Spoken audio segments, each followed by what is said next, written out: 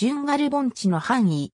中華人民共和国内でのジュンガル盆地の1カザフスタンに対するジュンガル盆地の1ジュンガル盆地。ジュンガリアは中華人民共和国新疆ウイグル自治区の北西部にある盆地を中心とした土地である。面積はおおよそ77万7000平方キロメートル。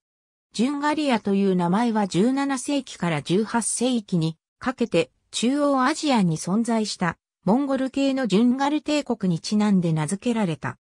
17世紀後半、ガルダン・ハーンの指導のもとに、ジュンガリアはその絶頂期に達し、1757年から1759年にかけて成長に完全に破壊されるまでに、西へのモンゴル系遊牧民の移住などに大きな役割を果たしていた。